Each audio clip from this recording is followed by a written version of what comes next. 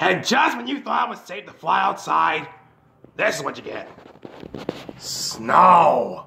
And lots of it.